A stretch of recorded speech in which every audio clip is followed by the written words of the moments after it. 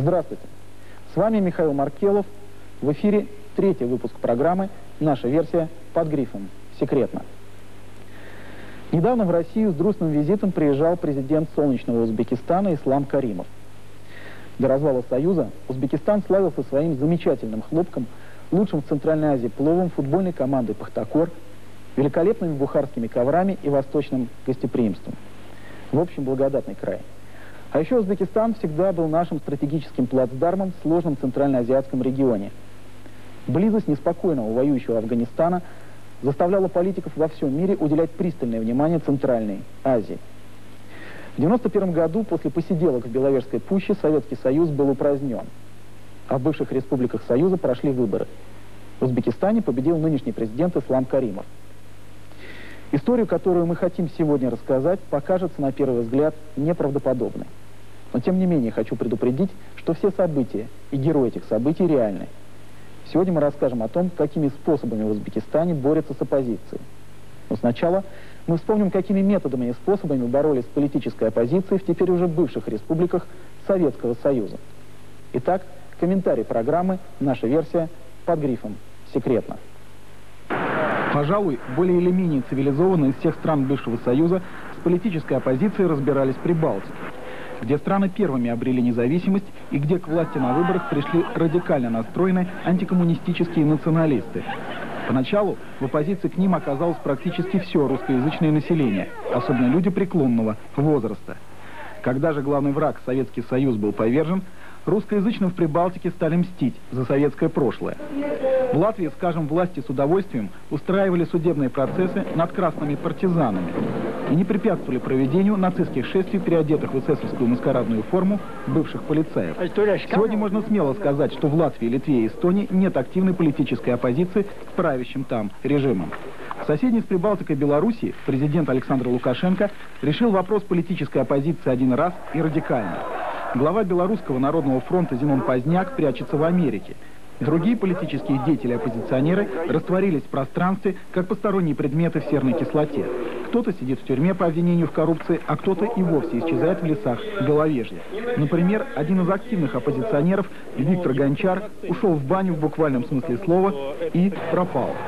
В Беларуси странным образом исчезают не только политики, но и журналисты. Митинговая же активность молодежи, осколков Белорусского народного фронта, пресекается властями быстро и практически без жертв. Белорусская милиция набила себе руку в уличных баталиях. На Украине, или, как говорят сами украинцы, в Украине политическая оппозиция активизировалась до такой степени, что президент Кучма впервые за годы своего правления почувствовал, что такое настоящая внутриполитическая борьба, когда уже невозможно обойтись простым подкупом электората. Разразившийся на берегах Днепра Кучма-Гейт показал, что на Украине серьезная оппозиция есть. Активизация оппозиции на Украине началась после убийства журналиста Гангадзе, критика режима Леонида Кучма, и ареста знаковой на сегодняшний день политической фигурой, коей является Юлия Тимошенко. Как результат, создание антикучманской коалиции из левых, правых и других сил, которых президент Кучма явно побаивается. Раньше такого не было. Раньше оппозиция состояла в основном из сторонников националистической организации УНА-УНСО. В Молдавии на последних выборах вообще случился парадокс. Оппозиция победила, но кто? Отнюдь не националисты. К власти пришли коммунисты во главе со своим лидером Юрием Ворониным, который положил на обе лопатки президента Молдовы Петра Лучинского, бывшего в советские времена секретарем ЦК партии. Все это происходило на фоне громких коррупционных скандалов республики. Что же касается России, то можно вспомнить 93 год, когда первый всенародно избранный президент России Борис Ельцин, недолго думая, расстрелял из танков мятежный парламент. Но все это уже в прошлом. Сегодня в России оппозиция власти внешне многообразна и разношерстна. Правда, она нестабильна и очень часто меняет свой цвет. В вечных оппозиционерах числятся коммунисты и яблочники. Сегодня одновременно не модно и опасно быть в оппозиции власти.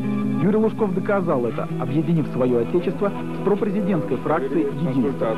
Остряки тут же назвали эту комбинацию «едиотами» по начальным буквам «Единство» и «Отечество». И еще. Сегодня в России в оппозиции часть бывших, как недавно казалось, всесильных олигархов. Но эту оппозицию пока никто не воспринимает всерьез. Гусинский и Березовский – это оппозиция прежде всего закону, а не власти. Закавказье, Азербайджан, президент Алиев. Наиболее активная часть оппозиции еще пять лет назад была разогнана. Часть сидит в тюрьме, а часть живет в Москве и ждет очередных выборов. В Грузии у Шеварднадзе ситуация похожая. Оппозиционер Игорь Георгадзе находится за пределами страны и разрабатывает планы своего прихода к власти. В Армении бывшего президента Тер Петросяна сменил молодой Роберт Кочерян, который еще недавно был в оппозиции власти.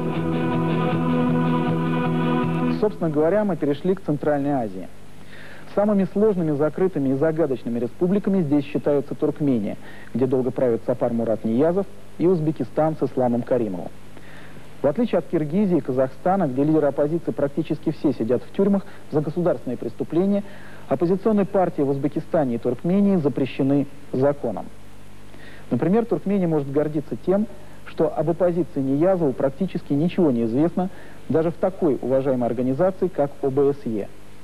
Что же касается Узбекистана, то здесь все гораздо сложнее. Вся политическая оппозиция президенту Исламу Каримову находится в вынужденном политическом изгнании, то есть за границей. Один из самых опасных для Каримова и его окружения лидер оппозиции Салай Мадаминов, больше известный в Узбекистане по своему литературному псевдониму Мухаммад Салих, живет и трудится в Норвегии. Я выехал из Узбекистана в 93 году э, под давлением властей Узбекистана, так мягко говоря. А на самом деле, э, в буквальном смысле, конечно, э, моя жизнь была в опасности, поэтому я выехал. Меня предупредили из МВД, очень верные источники о том, что э, Каримов, президент Узбекистана, серьезно намерен избавиться от меня как от лидера оппозиции. Поэтому я в апреле 1993 году выехал, вынужден был выехать из Узбекистана. В феврале 1990 года в Ташкенте поэт-интеллигент Мухаммад Салих создает политическую партию «Эрк», по-русски «Свобода», ставшей первой национальной партией еще в советское время – Год спустя, в декабре 1991 года, Салих выступает соперником Каримова на президентских выборах в Узбекистане. Случай беспрецедентный для центральноазиатских государств начала 90-х годов. Ведь у нынешних лидеров Центральной Азии еще 10 лет назад на выборах не было никаких соперников. Выборы Салих проигрывает, но президент Каримов начинает волноваться. Вскоре он запрещает деятельность партии ЭРК в Узбекистане. Начинаются аресты лидеров оппозиции. В 1993 году Мухаммад Салих эмигрирует из страны. Но Каримов все эти годы сохраняет видимость многопартийности в республике. В Узбекистане действует пять политических партий. Правда, отличить их друг от друга можно только по названию. По существу, они все едины в своей неизменной поддержке генеральной линии президента. В середине 90-х годов демократическая оппозиция в Узбекистане была уничтожена, а на смену мягким интеллигентам пришли исламисты-боевики. Ферганская долина, где они укрепились, на сегодняшний день является их оплотом в Узбекистане. Иммиграция же начинает подпольную деятельность. Находясь тогда в Стамбуле, Мухаммад Салих устанавливает в частности контакты с чеченской диаспорой. Его старая студенческая дружба с Зелимханом Гендербиевым, тоже в прошлом поэтом, оба учились в литературном институте в Москве, помогает Салиху познакомиться с влиятельными в исламском мире людьми. Так, в Стамбуле Салих встречается с Тахиром Юлдашевым, одним из руководителей организации Хезби Тахрир Ислами, или по-русски ИДУ, Исламское движение Узбекистана. Позже фотография Салиха, обнимающего Юлдашева, была куплена людьми Каримова по признанию самого Салиха за 13 миллионов долларов, как доказательство его связи с экстремистами. Юлдашев встречался не только со мной, но и с другими э, представителями узбекской оппозиции. И у других есть э, фотографии которые фотографировались э, с Юлдашевым. Э, вы, может быть, знаете, что у них одна только единственная улика, где я фотографирован, сфотографирован с Юлдашевым. Это больше улик, улики нет. Тем не менее, вас э, неоднократно еще обвиняли в том, что э, финансовые поступления в партии э, исходят от различных, э, опять-таки, экстремистских организаций. В частности, вспоминалось имя известного террориста Э, нет, даже Каримов сам тоже не верит в это, потому что они это придумали, эту легенду. Никто не верит этому. Просто это чушь полная. Исламское движение Узбекистана, сокращенно ИДУ, по классификации Госдепартамента США находится в списке наиболее опасных международных организаций. Штаб-квартира ИДУ находится в городе Кандагар на юге Афганистана. ИДУ имеет свою разведку информаторов в госструктурах Узбекистана, тренировочные лагеря и базы, склады с оружием. Организация имеет своих боевиков. Она стремится к расширению оперативного пространства и отвергает любые возможности решать свои задачи политическими и переговорными методами. Она впитала в себя боевой опыт талиба. Встречу Салиха Юлдашева в Стамбуле в 1998 году принято считать в Узбекистане главной сходкой террористов, на которой был объявлен джихад президенту Каримову. Правда,